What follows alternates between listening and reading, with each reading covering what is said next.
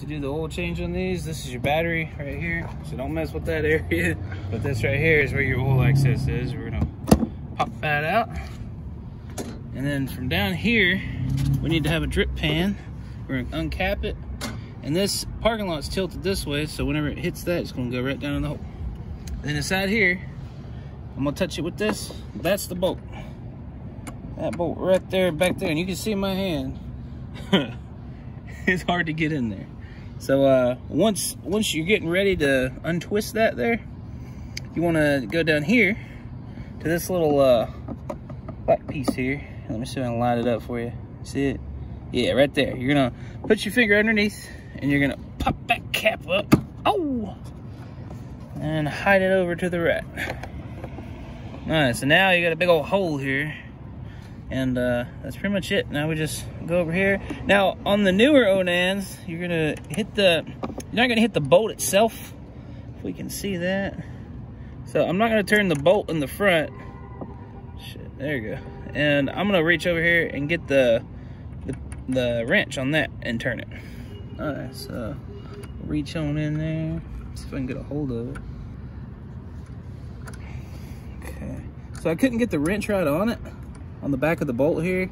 So I actually tried to, and the reason why I'm not getting you know to turn this uh, front bolt off, because when you turn it, it turns the whole thing.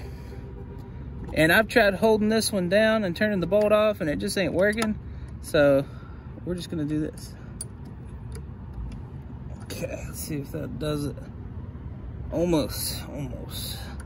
So just keep loosening it up. See if I can use this and get on it. There we go. I'm just using the back end of this now, or this time. So once it's loose enough that you can turn it with your fingers, get your fingers in there, and just start turning it like that. There we go.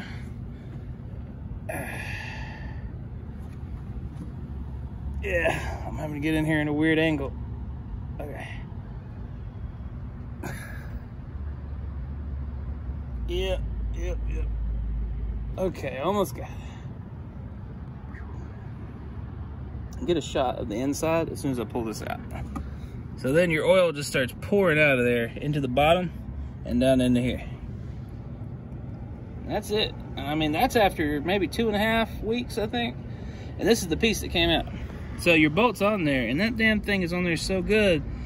I, I cannot seem to get it off of there. I'm sure now that it's off, I could put it in the clamp, turn that off, and then from that point forward, that would come off, and it would just pour out through that, be a little further out.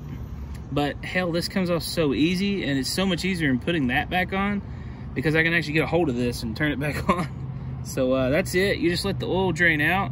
Once it drains out, this thing calls for, uh, I think it's uh, 600 milliliters of 10W30.